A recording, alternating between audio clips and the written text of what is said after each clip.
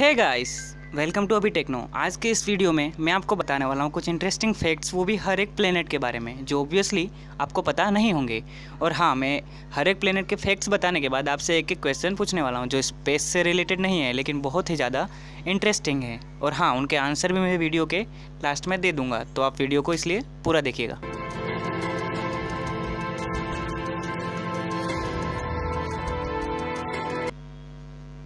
तो सबसे पहला प्लेनेट है मरकरी यानी कि बुद्ध प्लेनेट यह अगर अठासी दिनों में सन का एक परिभ्रमण पूरा कर लेता है, यानी साल होता है अठासी दिनों के बराबर.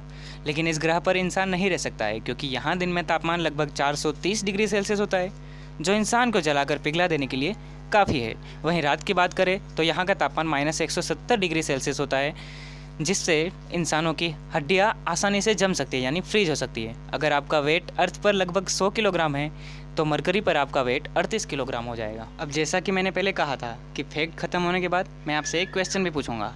तो मेरा क्वेश्चन ये रहा, आपके सामने पहला क्वेश्चन है कि इस इन्फिनिटी साइन को हम क्या कहते हैं? तो आप कहेंगे कि इसे इन्फिनिटी साइन कहते हैं, लेकिन नहीं, इसका दूसरा नाम भी है, जैसे कि इस स्टार साइन को हम एस्ट्रिक साइन कहते हैं। वैसे इस इन्फिनिटी साइन को हम क्या कहते हैं? उसका आंसर आप कमेंट बॉक्स में लिख दीजिएगा, अगर आता है तो। अगर नहीं आता तो आप वीडियो के लास्ट तक वीडियो पूरा देखिए लास्ट में आपको सारे आंसर मिल जाएँगे। अब दूसरा प्लेनेट है वीनस यानी कि शुक्र ग्रह। इस ग्रह को सन का एक ऑर्बिट पूरा करने में लगभग 225 दिन लगते हैं। अगर आपका वेट पृथ्वी पर 100 किलोग्राम है तो वीनस पर आपका वेट इक्यासी, यानी 81 किलोग्राम हो जाएगा। अब यहाँ दिन हो या रात टेम्परेचर हमेशा अप्रोक्सीमेटली 480 डिग्री सेल्सियस होता है। तो यहाँ तो हम ऑब्वियसली नहीं रह सकते और ये सौर मंडल का सबसे गर्म ग्रह है। मरकरी यानी बुद्ध ग्रह सन के सबसे पास होकर भी सबसे ज़्यादा गर्म नहीं है, क्योंकि वीनस के पास है एटमोसफियर वातावरण, ये सन रेस को ट्रेप कर लेता है, यानी जकड़ लेता है, जिससे वहाँ पे हमेशा टेम्परेचर ज़्यादा ही रहता है। भले दिन हो या फिर रात हो। यहाँ पर दो दिनों तक दिन रहता है और दो दिनों तक रात रहती है। अब दूसरा फैक्ट ख़त्म हो गया, इसलिए अब मेरा दूसरा क्वेश्चन है कि ये नाक के नीचे दो लाइनें होती है, उन लाइनों को हम क्या कहते हैं? अब तीसरा प्लेनेट है अर्थ इसका सबसे बड़ा और सबसे इंटरेस्टिंग और सबसे अमेजिंग फैक्ट यही है कि यहाँ पर इंसान रहते हैं। बस मदर अर्थ के लिए इतना ही है और मदर अर्थ के लिए कोई क्वेश्चन नहीं है। अब चौथा प्लेनेट है मार्स यानी कि मंगल ग्रह। यह प्लेनेट सबसे पास है अर्थ के और यह प्लेनेट बिल्कुल ही रेड प्लेनेट है। लोहे की वजह से छः सौ सतासी दिन लगाता है एक ऑर्बिट पूरा करने में सन का।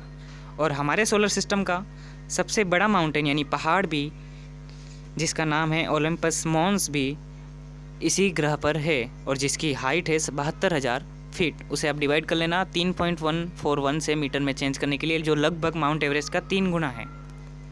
अब मेरा तीसरा क्वेश्चन है कि यह जो शूज़ लेज में, ये प्लास्टिक की कोटिंग है, उसे हम क्या कहते हैं? अब हमारा पांचवा प्लेनेट है ज्यूपिटर यानी कि गुरु ग्रह।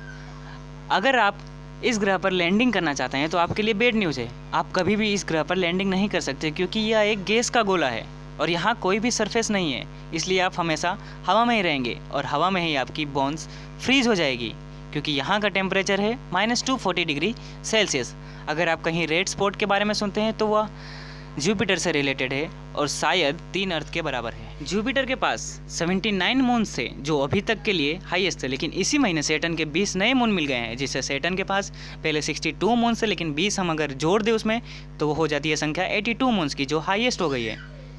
इसलिए जुपिटर के पास सिर्फ़ 79 मून्स है और सेटन के पास 82 मून्स है, जो हाईएस्ट हैं। अब जुपिटर का एक साल अर्थ के लगभग 11.8 साल के बराबर है मतलब एक ऑर्बिट पूरा करने में सन का 11.8 साल लग जाते हैं जुपिटर को। अब मेरा फोर्थ क्वेश्चन है कि यह जो नाखून में वाइट एरिया है, इसको हम क्या बोलते हैं? अब हमारा सिक्स प्लेनेट है सेटन यानी कि शनि ग्रह। हमारे सोलर सिस्टम का सबसे ब्यूटीफुल प्लेनेट है सेटन क्योंकि इसके पास है रिंग्स और अगर आप सेटन की साइज़ का बाट टब बनाते हैं तो एक्चुअली यह प्लेनेट पानी में तैरेगा, क्योंकि ये हल्का है, लेकिन आपको बाट टब सेटन की साइज़ का बनाना पड़ेगा। सेटन को सन का एक ऑर्बिट पूरा करने में लगभग 29.5 साल लगते हैं, ये बहुत ज़्यादा है।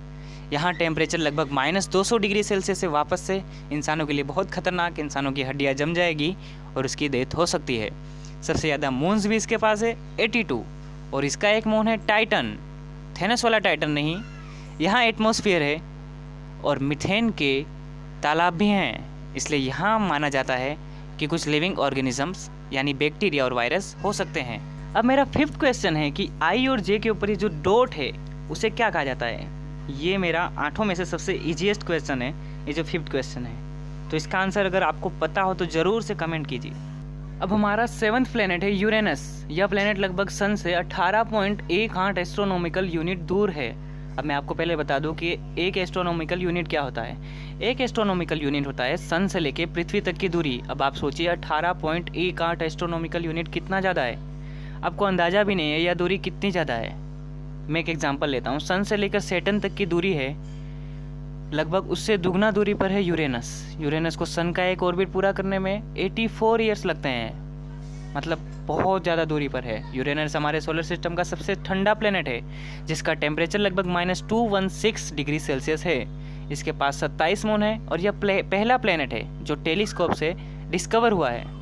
अब मेरा सिक्स क्वेश्चन है कि आप हाथ और पैरों में कभी कभी खाली चढ़ जाती होगी है ना? आपको पेंस और नेडल्स वाली फीलिंग आती होगी। आपको लगता है कि ब्लड का सर्कुलेशन नहीं हो रहा है वहाँ पे वो खाली चढ़ गया है। तो उसका एक साइंटिफिक टर्म है उसको साइंस में कुछ बोलते हैं उसको क्या बोलते हैं वो आपको कमेंट में बताना है।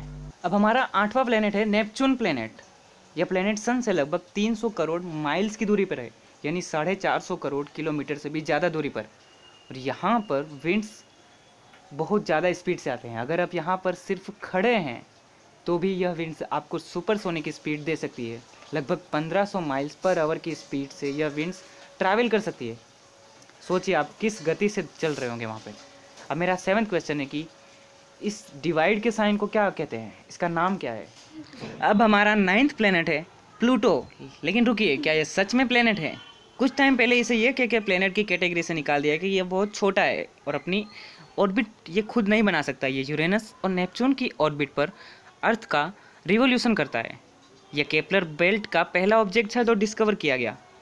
पहले पहले यह प्लेनेट लगा था, लेकिन बाद में इसे प्लेनेट के ग्रुप से निकाल दिया गया। क्यों निकाला गया? क्योंकि प्लूटो जैसे और भी केपलर बेल्ट के ऑब्जेक्ट्स जैसे कि इरिस सेडेना और बहुत सारे ऑब्जेक्ट्स मिले थे।